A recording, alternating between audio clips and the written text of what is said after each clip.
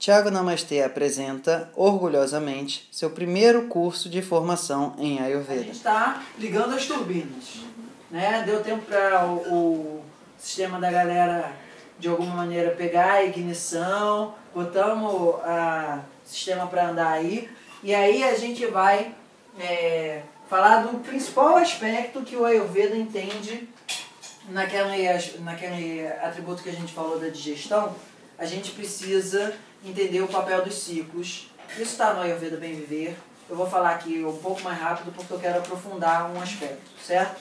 Então, o que, que significa saúde no Ayurveda em termos de digestão? Vocês já viram essa, esse desenho em algum vídeo? Já. O que está aqui? O que está aqui? O que está aqui?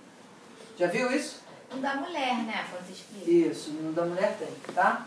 Então, basicamente, o processo de digestão no Ayurveda envolve três ondas. Primeiro a onda Kapha, depois a onda Pitta, depois a onda Vata. Todo o movimento da biologia se anda assim. E aí, basicamente, aqui é, teoricamente, o início da refeição. E aqui, basicamente, é o término.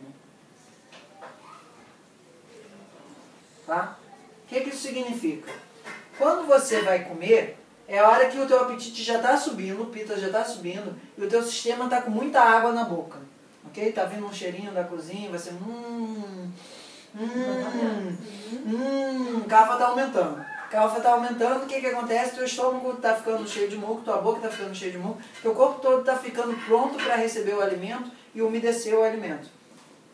A primeira etapa da digestão é uma etapa úmida. A segunda é uma etapa quente. A terceira é uma etapa seca. Tá? Onde a gente tem os nomes aqui de Kapha, Pitta e Vata. Ok? Qual é a ideia disso daqui? Atenção agora, hein? Esse é o aspecto mais importante. Para você ter saúde no Ayurveda, você precisa acumular algum dos, das energias, você precisa agravar e necessariamente você precisa aliviar. Ok? Então, o processo de saúde no Ayurveda envolve, vou repetir, acúmulo e agravamento de tanto de Vata, Pitta e Kapha como parte do processo de saúde C e somente C. Depois disso vem um processo de alívio. Ok? Em Ayurvedês isso é, é Chaya, que é o, o acúmulo, para Copa, que é o agravamento, e para Chama, que é o alívio. E de uma forma assim, menos tradicional, entendendo isso de uma maneira é, mais inteligente, é Chaya é o aquecimento. É quando os atributos das coisas estão entrando em é, preparação. Para Copa, é um estado excitado. É um estado que está muito agitado. Ok? Muito agitado, isso pode ser bom, mas isso também pode não ser bom. E para chama, é dar uma relaxada. O que a gente vai ver é que existe um, um, um problema aí, que quando não vai para a chama, vai para o prastara, que é, de alguma forma, o transbordamento ou então assim a despirocada, aí temos um problema. Então a gente vai primeiro ver o que é o processo de gestão em termos dessa, desses três atributos. Chaya, para copa e para chama. Ou seja, quando a gente come, a ideia é que no início que a gente vai comer, a gente está com água na boca e está com uma sensação de que está precisando comer porque tem fome, ok? Você tem bastante líquido de cafa e você tem fome de pita. Conforme você vai comendo, aquela quantidade de é, líquido vai diminuindo, por isso que a gente sempre termina com as coisas mais adstringentes. A gente vai deixando o final da refeição ser cada vez mais leve. Eu estou passando meio rápido aqui, depois quem quiser o porquê das coisas, o que, que significa leve? A gente come a sobremesa no início, a gente come os carboidratos simples no início, a gente come os carboidratos complexos, come as proteínas, come os legumes, por quê? Porque a gente come primeiro o pesado, que é mais cafa no início, e a gente come o mais leve no final, que é mais vata, leve e seco. Tá? Então, pita e vata são leves. Pita e Kapha são úmidos. Então todas as coisas que vão ser primeiro digeridas no nosso é, estômago, que são as coisas de sabor, do que o Ayurveda chama de sabor, tá? Aí eu estou passando, porque eu estou supondo que de alguma forma vocês já escutaram isso no Ayurveda bem ver, senão vocês escutam aquilo lá. Primeiro a gente come o sabor que o Ayurveda chama de madura. Madura é, normalmente é traduzido como doce, mas na nossa linguagem seria mais os carboidratos, as coisas pesadas. As coisas, melhor definição que faz. Hum, ok? Depois a gente come as coisas que são amla. As coisas que são mais ácidas. As coisas que atiçam o nosso metabolismo. Isso forma a fase kapha.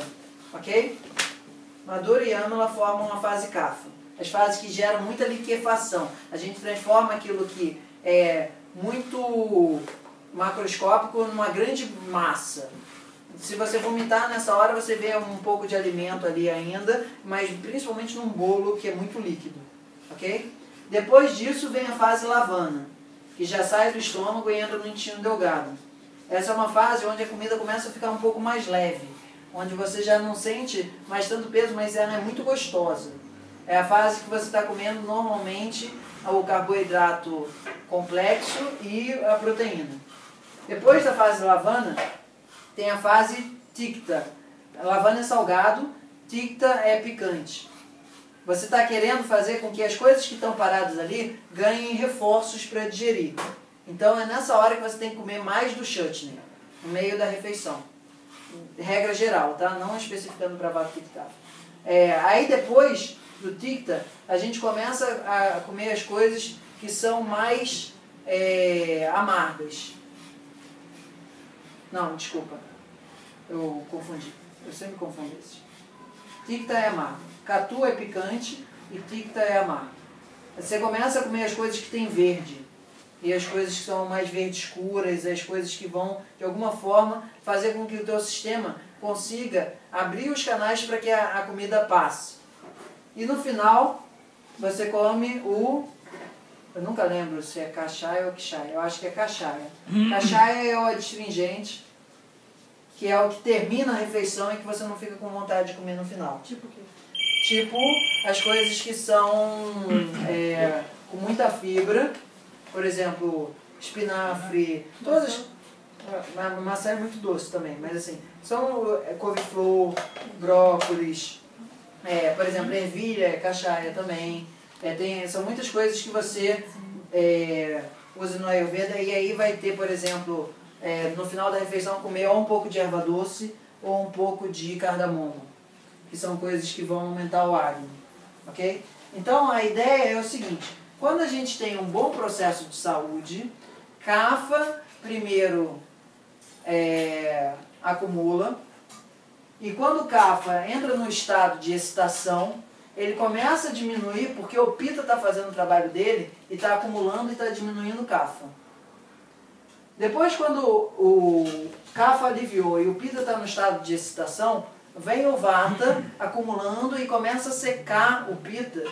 E o PITA começa a desaparecer e o PITA começa a diminuir. E é, o VATA começa a entrar no estado de excitação. E para o, o Vata diminuir, vai de novo repetir esse ciclo e o Kapha vai começar a subir aqui de novo. Isso vai diminuir a, a onda de Vata. Okay? Esse ciclo continua infinitamente. Eu só escrevi aqui Kapha, Pitta e Vata, mas aqui tem um outro Kapha. Ok? Então a ideia é o seguinte, esse movimento de Vata, no caso de Kapha, Pitta e Vata, que é a forma mais fisiológica de ver a coisa, permite que a gente tenha... É, o meio líquido para que tenha um processo digestivo, para que tenha um processo de assimilação. Ok? Quando você está no momento em jejum, o que está acontecendo? Quando você está em jejum, você está na fase vata. Por isso que a gente diz que os vatos não devem ficar duas, três horas sem comer, porque esse daqui esquen é, não é esquen demais. A, a, acelera demais o, seu, o intestino grosso seca. Então o que, que acontece? Nesse momento aqui você está se sentindo mais pesado, ou mais assim, líquido. Nesse momento você está se sentindo mais quente e nesse momento você está se sentindo mais leve, certo? Então, recomendação por básica. isso que o cara falou, não venham pra aula se não estiverem de jejum. É, o, o que que acontece? Quando você tá com... A não ser que você seja vago. Quando, é, a não ser que você seja vago. Quando você está de jejum, você tem menos cafa no teu sistema. E aí, se você tem menos cafa no teu sistema, menos peso no teu estômago, você está com o teu Jatarágni disponibilizando Agni na forma de Tejas. Então, se você come muito e vai estudar, você tem uma dificuldade muito grande de prestar atenção no que a pessoa está falando. Por isso que o nosso almoço hoje vai ser kitchery, que é a forma mais fácil de digerir uma refeição que, sabe, dê pra gente não ficar irritado, com fome e tal, mas que as pessoas não fiquem com fome no final. Aí no, depois vai dar cardamomo pra galera, que o cardamomo tem as propriedades de acne. Então agora Cardamom puro? é pra mastigar. Você vai ver. Vai, vai todo mundo ganhar uma, duas favinhas. A galera que é mais vata não vai comer a fava, a galera que é mais cafa é, deve Yes. comer a, a, a, a fava, não só a Mas o sementinha. kitchery com azuki? Ah, o kitchery a gente vai fazer hoje um kitchery mais pra cafa, então vai ser conservado em vez de arroz. Minha, minhas novidades ali ayurvédicas vão sair daqui a pouco, tá? Então, basicamente, o que a gente precisa entender é que o processo digestivo saudável existe um ritmo pré-determinado pela nossa fisiologia. Primeiro é estômago, depois é intestino delgado, depois é intestino grosso. Alguém aqui tem uma ordem diferente dentro de si? Não? Então tá valendo isso para todo mundo, certo? A gente ainda não está falando nada específico para ninguém. A gente só está falando coisas que são válidas para todo mundo, certo? Tá beleza? Tá anotada essa parte? Essa parte é fundamental. E Peraí, a gente. Peraí, peraí. Hum. Uma viagemzinha agora. Hum. E se uma pessoa pita, isso explicaria porque que assim, eu chego na refeição uma pessoa, aí no meio da refeição eu tô de muito bom humor, eu tô muito feliz, porque eu tô bem no meio daquele negócio ali. Isso, porque o que acontece? O teu pita tá reclamando contigo, ó. Tô acidificando o teu sistema, tô acidificando o teu sistema. Na hora que chega a comida, o teu pita fala, ah, eu tenho o que fazer. É como se você chegasse no trabalho, o pita gosta de trabalhar. Chegasse no trabalho e não tivesse nada pra você fazer. Aquilo irrita o pita, irrita, irrita. A única coisa que o pita quer é ter trabalho na vida. Se ele não tiver trabalho, ele fica irritado. Então, qual é o trabalho do teu estômago? Digerir. Se ele não tem comida, ele começa a falar, eu preciso trabalhar aqui, não vai me trabalhar, não vai me dar trabalho, não, vou te fazer uma úlcera pra você ver só. Se você não, não aprende, entendeu? Então o pita tem, uma pessoa de constituição mais pita tem muita secreção de ácido gástrico, principalmente na hora do almoço. Se está saudável, que é uma coisa que a gente vai ver daqui a pouco. Quero falar um pouquinho de algumas coisas que são importantes, isso daqui tem que decorar, essa é a parte que tem que decorar. Oi. É, catabolismo é o que mesmo tem a ver com isso? Catabolismo está aqui, anabolismo está aqui. Anabolismo é a construção de tecido, que a gente faz principalmente de noite. Catabolismo é o que a gente faz de é, consumo de tecidos. Quando você tá com fome, não come. É, quando você está com fome, não come, ah, tem uma grande chance de você estar puxando a energia, em vez de ser do prano da respiração, você deve estar puxando de algum dos seus tecidos. Normalmente do fígado, que é onde a gente guarda essa energia. Aquela, só uma informação básica. Aquela fome que a gente sente primeiro e depois passa fome, é quando o nosso corpo desiste de pegar a energia pelo estômago e fala o seguinte, vamos no fígado. Aí no fígado ele pega o nosso primeiro reserva de energia, que não é reserva de energia na forma de gordura que a gente está vendo como tecido adiposo. É uma forma de gordura que está ali intermediária, entre o que está na loja e o que está lá no estoque do não sei o que. Está num estoque ali que, ah, Por peraí. que, que ele não come a gordura? Oi? Por que, que ele não come a gordura? Porque a gordura é preciosa. A gordura ele não quer E o soltar. fígado não é? O, o fígado, ele é assim, eu, ele começa a pensar, bom, o que, que eu tenho que fazer? Eu tenho que ficar vivo ou eu tenho que ficar com gordura? Hum, eu não vou liberar a mão daquela gordura ainda não, mas vou soltar a do fígado, que a do fígado depois eu coloco mais rápido, Ah, tá. entendeu? você Então, forma o fígado. Você a gordura do fígado é uma gordura que você consegue tirar e botar mais rápido. Ah, tá. Mas é por isso que no jejum terapêutico a gente ingere alguma coisa? É, é por isso porque a gente está querendo liberar o Agni para fazer com que a gente consiga é, fazer com que o nosso corpo tenha energia para queimar a toxina, certo? Aí depois que você tem esse período de que o fígado deu a energia que podia dar, você começa a ficar fraco. Que aí é que você está realmente tendo que buscar energia na tua gordura e você fala assim, eu não posso ficar fazendo tudo ali que eu estava fazendo antes, porque esse processo não libera energia tão rápido assim. Entendeu? O fígado não. O fígado, aquela fome estava com fome e a fome passou. Essa fome passou é porque teu fígado segurou as pontas durante um tempo. Certo? Isso emagrece? Isso não é a melhor forma de emagrecer. Isso te deixa é, mais é, fraco. ok? A, forma de você emagrecer é aumentar a sua fome. Isso é um aspecto muito importante. Assim, sempre que eu estou, de alguma maneira, gerando... Não necessariamente. Sempre que eu estou passando programa de emagrecimento para as pessoas, eu falo, você precisa sentir fome. Eu não quero sentir fome! Se eu sentir fome, eu vou comer, eu vou engordar. Eu falo, enquanto você não tiver fome, você não vai emagrecer. Aí a gente fica conversando um tempo até a pessoa falar, ah, entendi por que eu preciso sentir fome. Basicamente, o Ayurveda entende emagrecimento quando você come mais caloria do que você ingere, certo? Então, se você come muito pouca caloria, mas você queima menos do que você comeu, do que você ingeriu, você engordou. Se você ingeriu 100 de caloria e gastou 90, 10 você engordou. Se você ingeriu 1000 de caloria e gastou 1100, você emagreceu. Então, o Ayurveda não é vigilante do peso. O Ayurveda é vigilante do metabolismo. Certo? Nesse sentido. Então, agora, para a gente fechar esse vídeo daqui, anota aí. Isso tem que estar. isso não é nem para estar no caderno, isso tem que estar na cabeça. Agni é prioritariamente quente.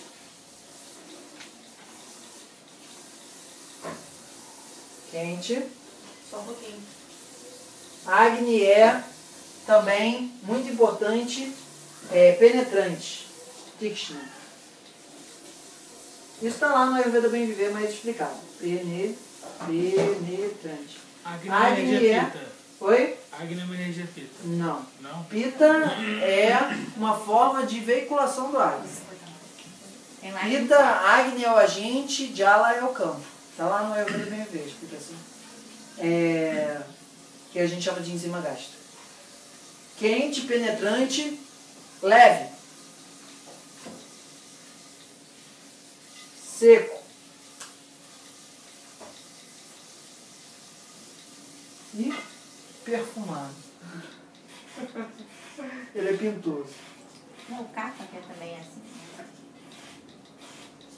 O Kapha, ele também tem um atributo que ele, no geral, tem pouco cheiro.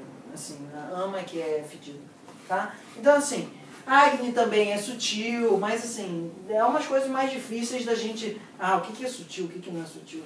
Vamos com calma. Mas, assim, essas características, todo mundo, todo mundo sabe o que é quente, todo mundo sabe o que, que é penetrante, todo mundo sabe o que, que é leve, o que, que é seco e o que, que é perfumado. Tem alguma questão, assim, tem alguma palavra mais esquisita aí? A mais esquisita é penetrante. é. Penetrante é aquela capacidade de pegar um negócio e cortar, transformar.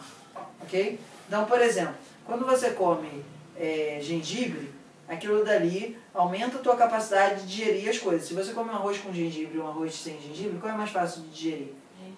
Com gengibre. Se você come um feijão cozinhado com cúrcuma e um feijão cozinhado sem cúrcuma, qual é o mais fácil de digerir? O cozinhado com cúrcuma, porque a cúrcuma tem um atributo de penetrante. Então ela corta as ligações de proteína muito longas e quando chega no nosso sistema, a gente tem que fazer um esforço metabólico menor. Certo? Então penetrante você pode ter assim, aquela pessoa tem uma fala penetrante, um olhar penetrante, capacidade de ação. OK? Isso é fundamental para tudo, tá? Então, a Agni tem esses atributos, tá? E o que a gente vai começar a falar agora, que é da, da forma da gente estar com a Agni saudável ou não, Sama Agni, que é a, a primeira palavra que a gente tem que aprender. Sama Agni. Ele é estável,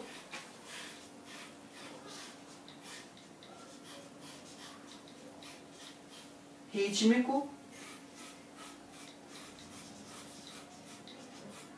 potente inteligente.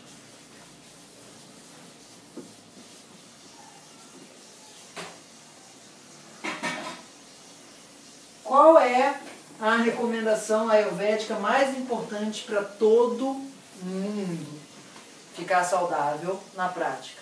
Manter o samadhi. Então, se esse cara, tipo, é o popstar da saúde no Ayurveda, a gente precisa entender o que, que é um Samahagni. Tá? Agora, vamos lá. Esse daí anota aí que Tente. ele é estável, rítmico, potente e inteligente. Tá? Atributos de Samahagni. Todo mundo podendo anotar? Não. Primeiro é que o principal horário de fome do dia é meio-dia. Meio-dia, uma hora. você tem uma fome de 0 a 10, vamos tipificar. Essa fome é 9, 9,5 por volta de meio-dia. Ok? 10 da manhã, no início do horário pita, 9, 10 da manhã, essa fome é 7. Numa graduação, só pra gente ter, a gente costuma pensar em números, fica fácil, tá? Então, meio-dia ela é uma fome cavalar. Não, peraí, considerando uma pessoa que acorda que horas? Vamos, vamos ver isso, fica tranquilo, tá? É, meio-dia é o horário do Sama Agni tá fazendo sua principal refeição. 9 e 10 da manhã é o horário do Agni tá é, com fome, mas assim, para comer uma coisa um pouco mais pesada, sem ser uma, um almoço. 6 da manhã, 7 da manhã, você teria uma fome do tipo 3, 4. Alô? É uma fome principalmente que seria respondida por líquidos. Tá?